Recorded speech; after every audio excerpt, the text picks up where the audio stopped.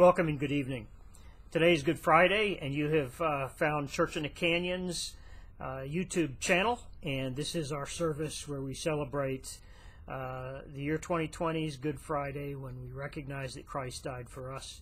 Uh, for those of you who are sheltering in place and still at home, stay there, be smart, be safe. Uh, those of you who are working in essential jobs, I pray that you are safe, and we are uh, remembering all of you in our prayers. A couple of announcements. First, I want to recommend to you if some of you have tried to support the church and its work by going online. I heard from Connie this week that we don't, you can't give by clicking directly online, but you can get information on an app that you download. All this technology is a little new for me. Uh, I ought to know better, but uh, but I don't use apps like this. So um, you can go and get that app, and then you can give that way. If you have any questions, feel free to call the church office at 818-880-2060. And someone will get back to you probably within a couple days. We're, excuse me, we're trying to stay, uh, we're working remotely these days, as many people are across the country. I also want to share with you guys a neat idea that I got in calling different folks in the congregation and finding out how they're doing. It's interesting that the number one uh, thing that people say is that they're bored. Everyone's going a little stir crazy. But I got a great idea when I was talking to Bert Vigil, and he gave credit to his mom, Dora. So, Dora, thank you for this idea. You know, we're told to wash our hands now very religiously, and somebody shared with them the idea that when you're washing your hands, say the the Lord's Prayer. Our Father who art in heaven, hallowed be thy name, and just go. St- and then by the time you're done saying that prayer, you'll have spent enough time washing your hands to be completely disinfected. Anyway, great tip. Thanks, Bert.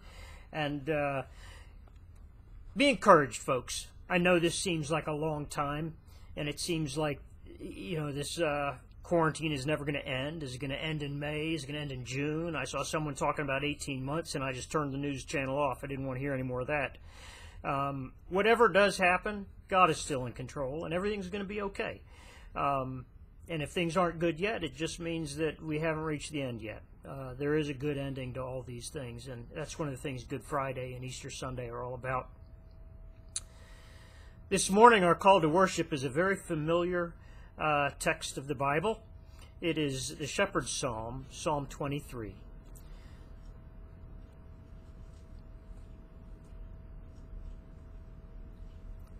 Trouble with tunnel vision is I can't figure out where the numbers are on my page here. I should have had my finger there. Here we go. Found it. Psalm 23. The Lord is my shepherd, I shall not want. He makes me lie down in green pastures.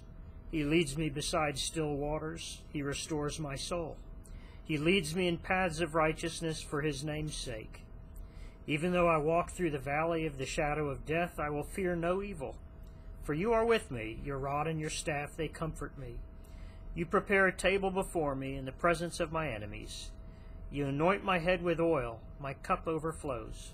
Surely goodness and mercy shall follow me all the days of my life, and I shall dwell in the house of the Lord forever. Let's pray. Heavenly Father, we thank you for this day. We thank you that uh, in one day of the year, uh, during the week of Passover on Good Friday, we remember the fact that Christ our Savior, the Son of God from all eternity, died in our place and gave his life in exchange for, uh, for ours. And Almighty God, we pray that you would help us to remember that during this uh, short hour that we spend together here. Father, we pray that you would draw near to us as we uh, draw near to you by your Spirit. Lord, speak to us in the uh, reading of your word. And Lord, we pray that you would be with us and uh, hear our prayers and our praises as we may be singing at home tonight as well. Father, we pray all of these things, thanking you for the goodness and grace that are ours in Christ. Amen. So these worship services conducted virtually with me looking at that little camera and you guys sitting around your tables and on your sofas and in your different homes around uh, these valleys we live in here in California. It's been a bit of a challenge. Uh, liturgically, everything's all askew. We don't have singing. We don't have uh, the pastoral prayer. We don't have things like the sacrament of the Lord's Supper, which ordinarily we'd be celebrating tonight. A lot of churches are doing that. We're not going to do that tonight, and some of you might say, well, why not? And in, in, fact, a couple of you have called and emailed and, and made recommendations to the effect that, hey, this is what we could do. And a lot of churches are doing that, and more power to them. I have no intention of saying anything that should be interpreted as a critique of that at all. But having said that, I'll tell you why we are not going to celebrate the Lord's Supper remotely. In 1 Corinthians chapter 11, we read that, G, uh, that the Apostle Paul is replying to certain issues that came up in the church in Corinth. And so you'll see, now for the matters he wrote about, about this, about that, and about this, and different subjects come up as you read through 1 Corinthians. And when Paul starts to talk about now, about your meetings when you come together as the church, that's the context for everything he says about the Lord's Supper. When we meet together as the church. And the whole point is some aren't waiting for others. Some are going ahead and eating at their own pace. Some are doing it their time, their way. And it is no longer that communal event in which they are all partaking at the same time in the same place. Uh, and that's important. We live in a day and an age when more and more things are becoming virtual. We see that even in education. You know, my kids that are still in school, they are taking their courses virtually now, finishing up their uh, their education for the school year. And they're not all doing it at the same time. One kid is taking their third period class at 2 in the afternoon, and is downloading it and doing his part just as long as they submit their homework by midnight on the next day. And everything is becoming sort of uh, on demand delivery style uh, approach to things. More and more things are do at your own pace, do at your own convenience, do whenever you're able to. In fact, Many of us are going to be listening to this Good Friday service and participating audibly or, or uh, listening to it and participating uh, in spirit, if you will, uh, well after 7 o'clock on Friday. And if there's an invitation to the Lord's Supper, that's going to be celebrated all over the place, all kinds of different times, not just separated by space, but separated by time, such that it loses something of the dynamic of a communal event. For sure, there's ways around that. But some things you don't do virtually. Uh, this summer, I have two weddings planned that I'll be officiating at. I'm very happy with my one wedding. Uh, and both of them are postponed. Why? Because some things you just don't do virtually. Memorial services being delayed till people can actually fly together and be together, not being done by Zoom or Skype or uh, you know, Google Meetup or any other thing like that. Could be done that way, but not being done that way. Some things are that important.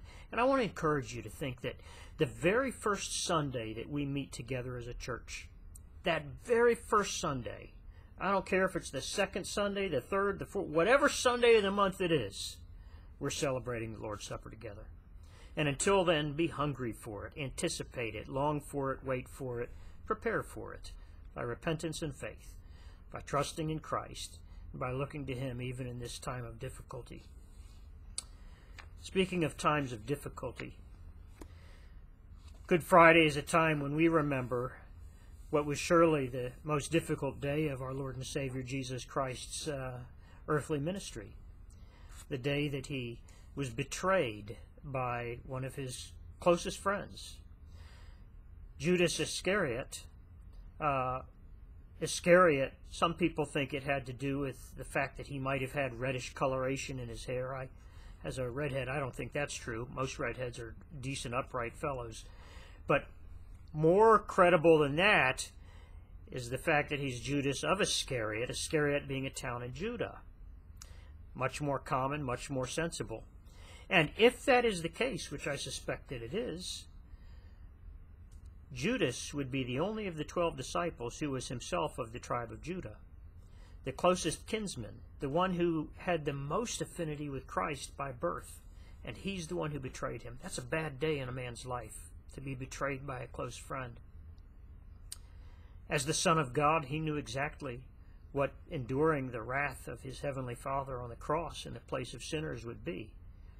And so in the Garden of Gethsemane, as after he's been betrayed, after Judas has left that Last Supper, and he's crossed the brook of the Kidron Valley and ascended the slopes uh, to on the Mount of Olives to go to that garden, he weeps and he sweats and he cries out to God, Take this cup from me, but not my will, but yours. So there's a sense in which this is a bad day in the life of Jesus, a hard day, a day of shadows and tears, a day of crying, a day of betrayal, a day of arrest, a day of rejection. And it leads to the morning of the trial, of carrying the cross, being whipped, and ultimately of being crucified. It was a day of suffering, and it's described with that exact word when we look at what Peter, one of the twelve, says in chapter 3, verse 18 of 1 Peter. And that is our text for today. If you have your Bible with you, please turn with me to 1 Peter chapter 3, verse 18. Let's pray. Heavenly Father, thank you for this day. And Lord, we do. Uh, just, Lord, we pray that you would help us to be grateful for everything you're doing in our life on every day. Lord, help us never to take a single day for granted, but always to look for how you are blessing us and how you would use us to be a blessing. And Father, as we read this text of Scripture, Lord, we pray that you would help us to understand something of the death of Christ for us that much better. That we can live in a way that brings you glory and honor and truly blesses, spiritually advances the cause and the condition of all of those around us, whose lives we share and who we, by your grace and goodness, love. We ask this blessing in Christ's name. Amen. 1 Peter chapter 3 verse 18. For Christ also suffered once for sins, the righteous for the unrighteous, that he might bring us to God, being put to death in the flesh, but made alive in the Spirit. This ends the reading of God's Word. Typically, pastors, and typically I myself, when it comes to Good Friday, preach from the Gospels Matthew, Mark, Luke, or John, and we look at the events of that last day, whether it's the Last Supper, or the time in Garden of Gethsemane, or the time on the cross. This year I've chosen to take this text because suffering seems to be the context of all of our lives right now, one way or another.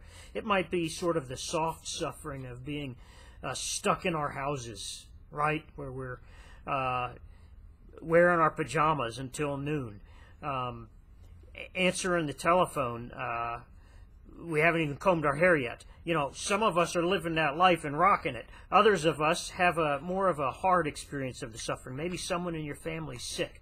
Maybe you've lost someone already. I received an email today from a brother pastor right here in LA who lost a member of his congregation uh, to COVID 19.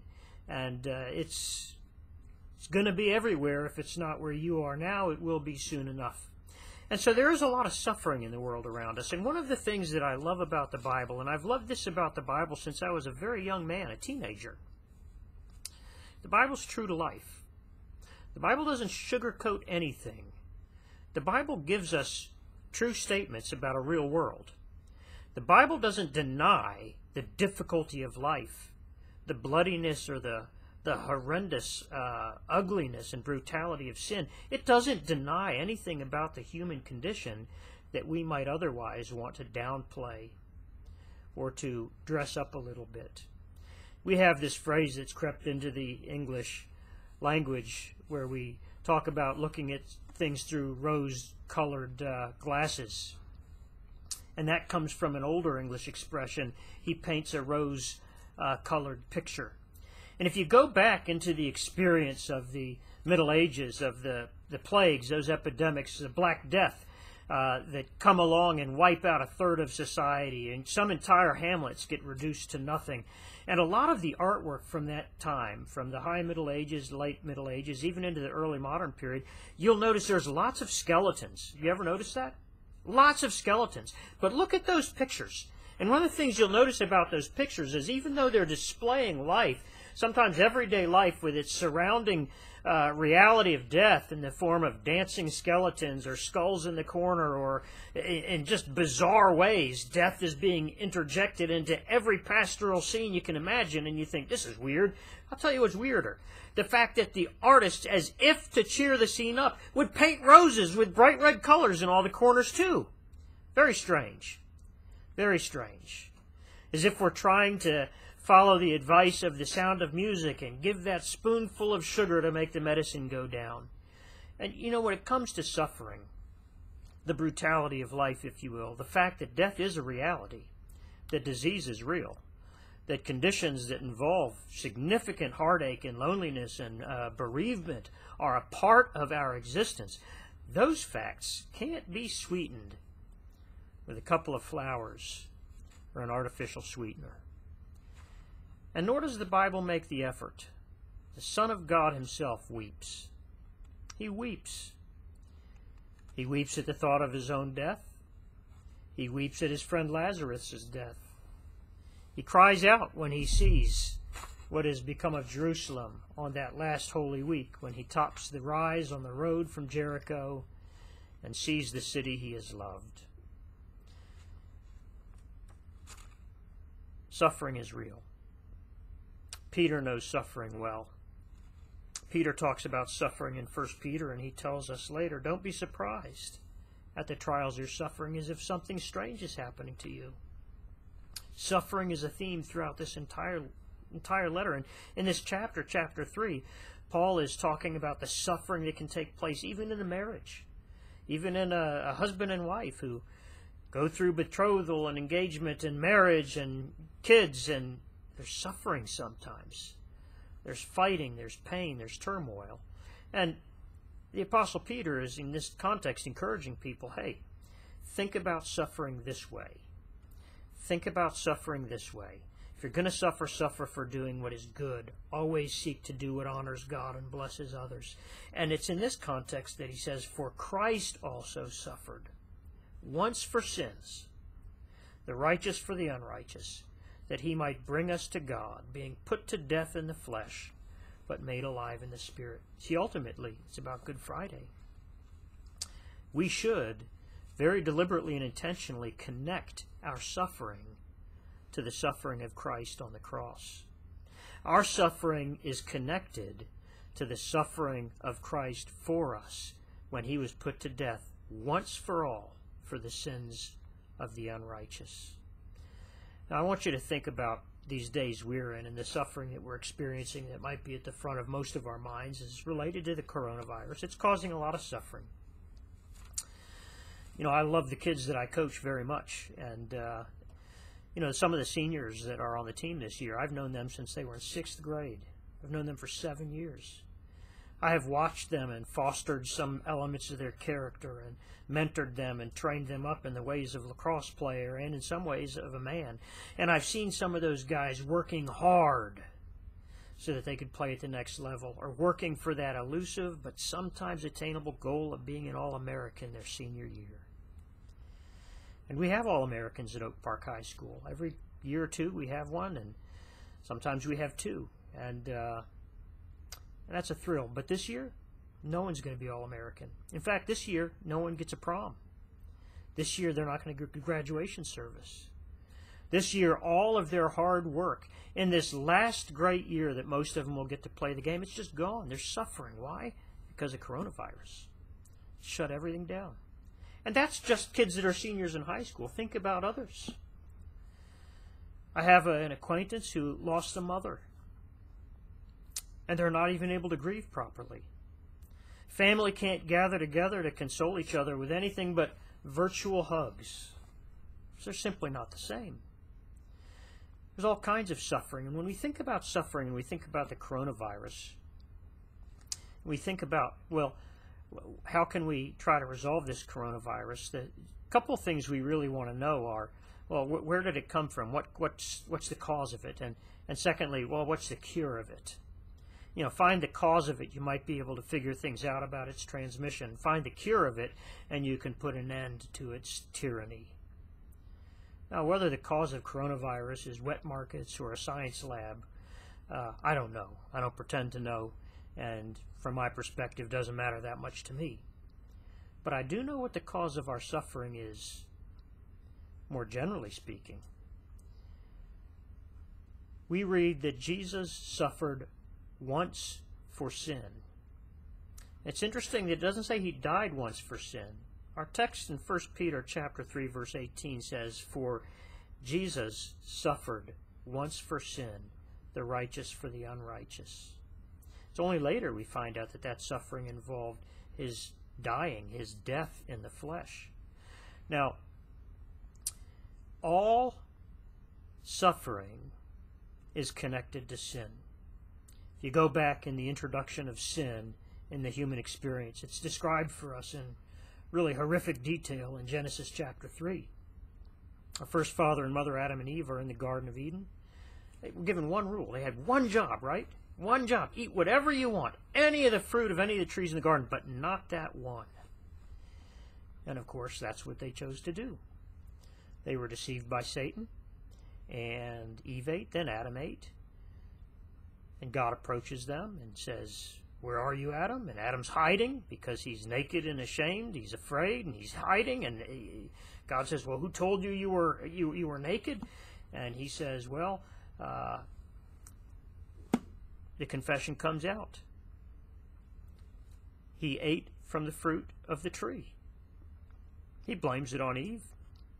Eve blames it on Satan.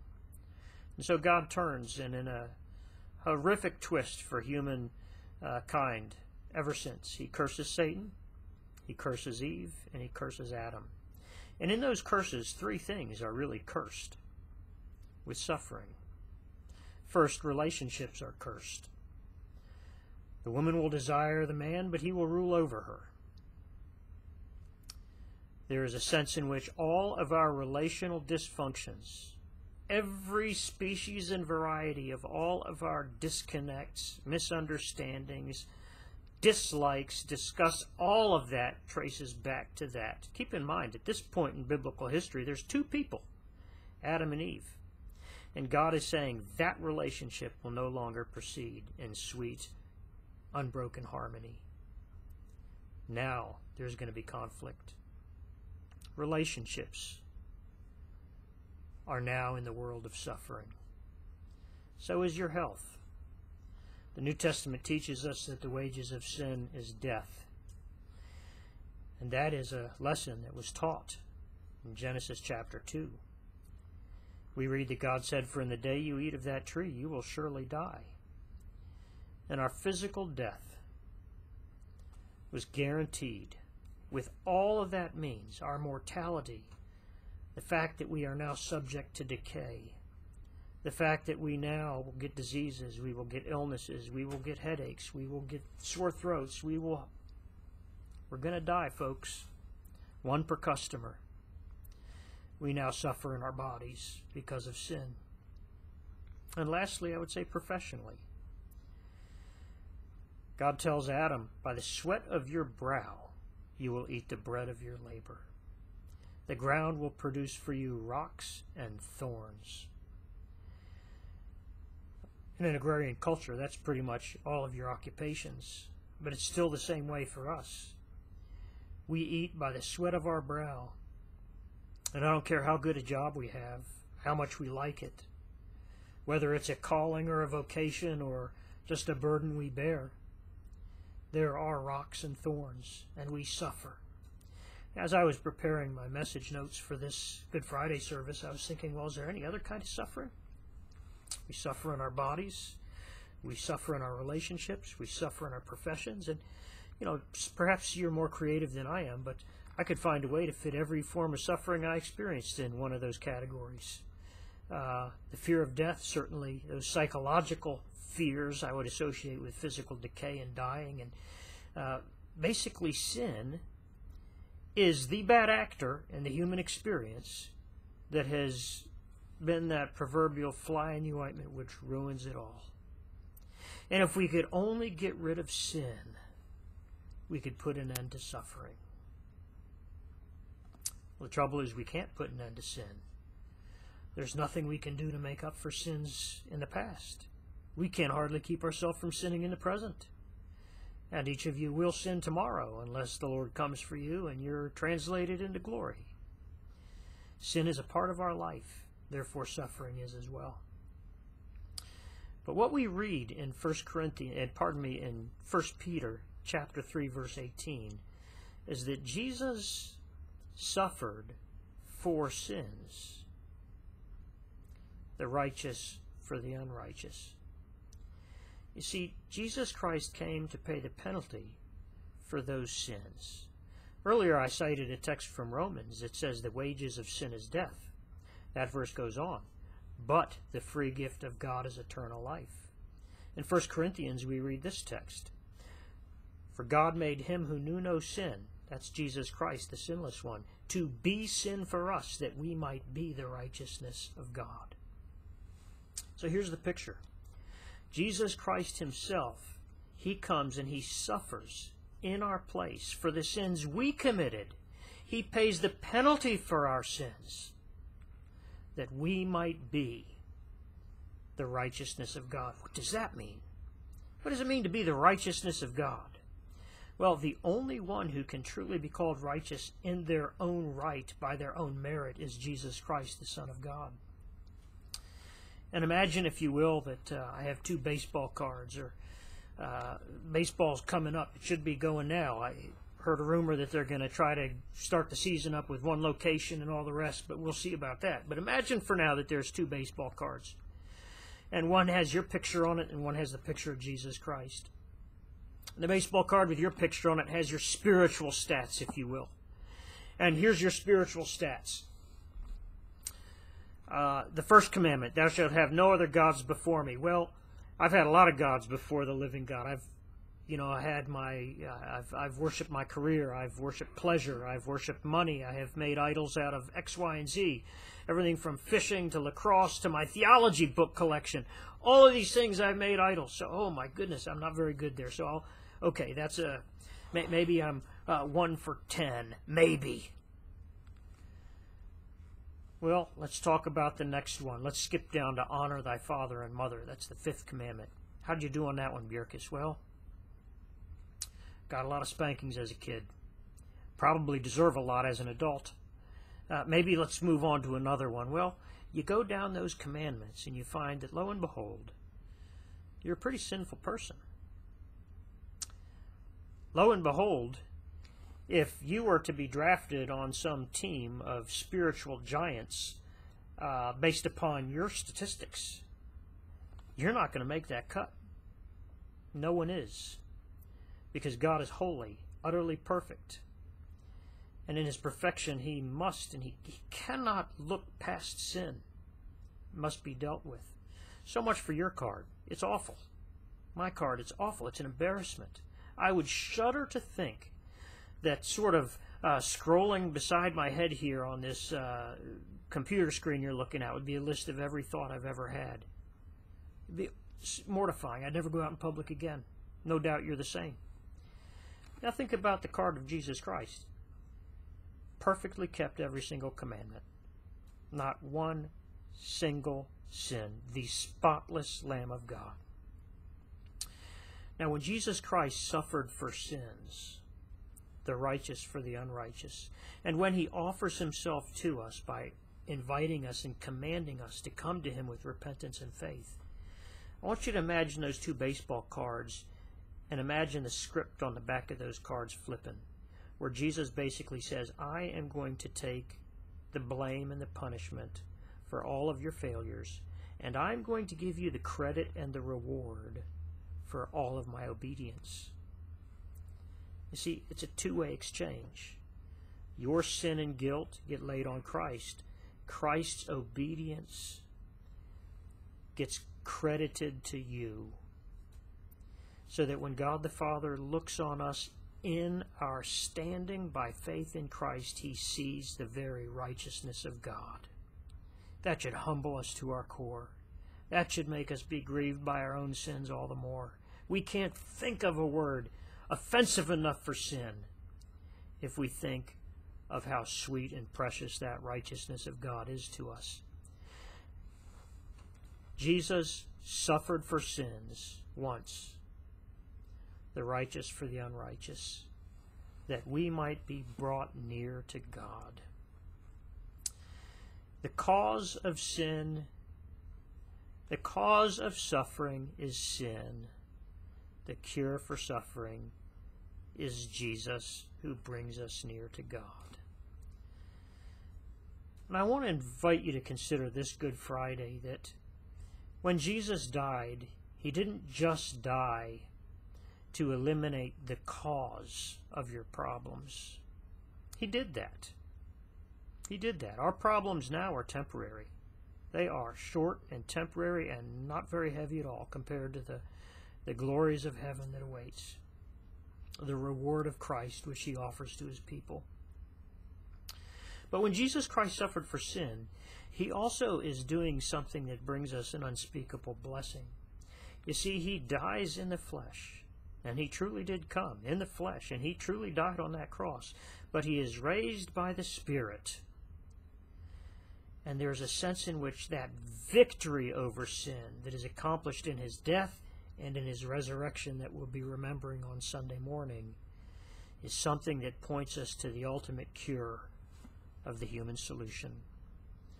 We're in an election cycle now, and some of us are so foolish as to think one more time that if only we elect the right politician, culture will be fixed. Well, newsflash, friends, it won't be. There will still be people in charge. And as long as people are in charge, we are basically all on a train that's uh, wandering around the wilderness looking for the tracks, ready to wreck at any moment. Uh, however, God has a plan and a purpose in all things. And his plan and purpose don't simply go from market cycle to market cycle. His plan and his purpose go into eternity, as far as the imagination can extend. And I want you to think about that as you suffer. Whether it's the soft suffering of sheltering at home and trying to work from your laptop on a sticky kitchen table after you just had too much syrup on your waffles. Or whether it's a hard suffering where people are dying and you're sick and friends you know are in the hospital and you can't visit them. Whatever the kind of suffering you're experiencing might be. I want to encourage you to think that Christ suffered too. In the flesh, he truly suffered. The righteous for the unrighteous on account of our sins, that we might be brought near to God. And the cure to your suffering is being brought near to God. Some of you feel like you're far from God. And if that's the case with you, I want to encourage you to think of some advice that I heard uh, at second hand from an old, old Norwegian farmer in Minnesota. He said, if you're thirsty, go to the last place you had a drink of water. There's probably a spigot nearby. And I want you to think about the times you felt close to God. And I bet you you were probably reading your Bible, or someone was reading it to you, or you were praying. You were probably going to church or participating in some Bible study, maybe in a small group. You probably weren't caught in the trap of some addiction or sin. And if you want to be near to God, Take advantage of the fact that Jesus Christ, through the preaching of His Word, whether it's done via YouTube or in a brick and mortar building, He says to people like you and me, Draw near to me, and I will draw near to you. You see, Christ has opened up the way. He suffered for those sins that make you so far away. Turn, repent, same word, exact same word. Turn and repent, absolutely the same word in the Old Testament language. Turn around. Only look to this one who died on Good Friday to pay the penalty for your sins, who suffered in his flesh for you, that you might be brought near to your God. And draw near to him. Some of you are Christians and you're far away from God. You're so caught up in yourselves and your plans and your hopes and worldly things that you can hardly spare a thought for heaven all of your decisions are made based on the same decisions that govern Hollywood, Wall Street, and Madison Avenue. I would invite you to draw near to God and look at things through the eye of the Spirit of the living God, who sees righteousness and unrighteousness, heaven and hell, obedience and faith, repentance, sanctification, holiness. You see, these are the categories that matter. These are the words that must define us and help us describe our experiences. Draw near to God in your suffering. Come back to church. Whether that means tuning in regularly or whether that means praying with us for this quarantine to end so we can get back together at 10:45 or 11 or whenever your church service begins and pray. I invite you to pray the way I'm going to lead us in prayer right now. So join me, won't you? Heavenly Father, we thank you for this day and we confess that we are suffering.